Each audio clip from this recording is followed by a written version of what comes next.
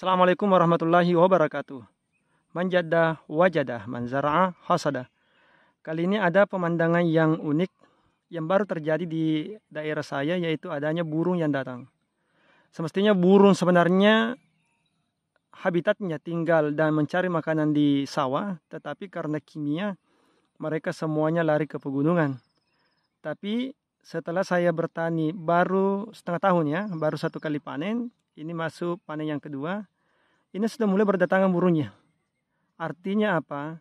Dengan cara bertani organik, maka semua makhluk hidup akan mendatangi kita. Jadi yang mencari nafkah di sawah ini bukan cuma saya. Mereka juga mencari nafkah untuk kelangsungan hidup mereka. Tadi ada sudah beberapa dan sudah ada saya lihat tiga jenis burung yang datang dan semuanya hinggap di persawahan saya. Ada beberapa di lokasi sana teman-teman sekalian juga hinggap. Ya. Ini tak membuat saya semakin semangat dalam bertani secara organik. Ini saya zoom. Ya, karena kalau saya mendekat pasti dia terbang. Ya, panggil teman-teman kamu ya.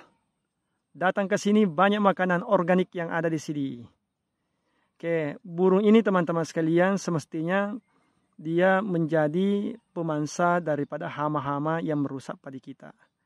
Jadi dia datang ke sini mencari nafkah, tetapi kita mendapatkan juga berkah karena hama-hama yang yang seperti ulat yang menggeret batang, nah, mereka juga uh, akan tanpa dengan menggunakan POC ataupun herbal yang kita racik, juga dibantu oleh burung-burung yang pemangsa Eh, hama-hama uh, yang merusak pertanian kita. Dan ini tidak merusak teman-teman sekalian.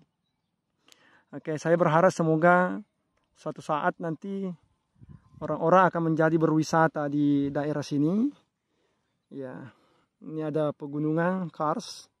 Semoga suatu saat nanti mereka akan menjadi lokasi wisata dan menjadikan sawah ini sebagai sawah organik yang ditumbuhi oleh banyak sekali uh, makhluk hidup yang yang hinggap di sini kupu-kupu kemudian uh, berikutnya dragonfly ya dan tambah burung-burung yang mulai berdatangan ini pertanda bahwasanya ada mikroorganisme ada kehidupan yang berlangsung dari cara organik yang saya lakukan dalam tahun pertama ini. Semoga berkah ini ada lagi kupu-kupu teman-teman sekalian. Dan rata-rata saya lihat semuanya hinggap di persawahan saya ini pada bertetangga. Ini tidak ada dihinggapi, tapi ini hinggap teman-teman sekalian. Itu, itu, kubu-kubunya. Itu luar biasa. Coba lihat. Ini bertetangga loh. Tapi kebanyakan dia hinggap di sini.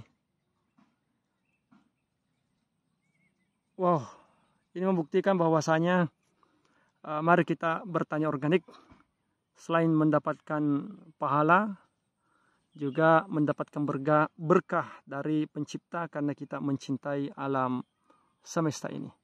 Manjadah wajadah manzara'a hasada.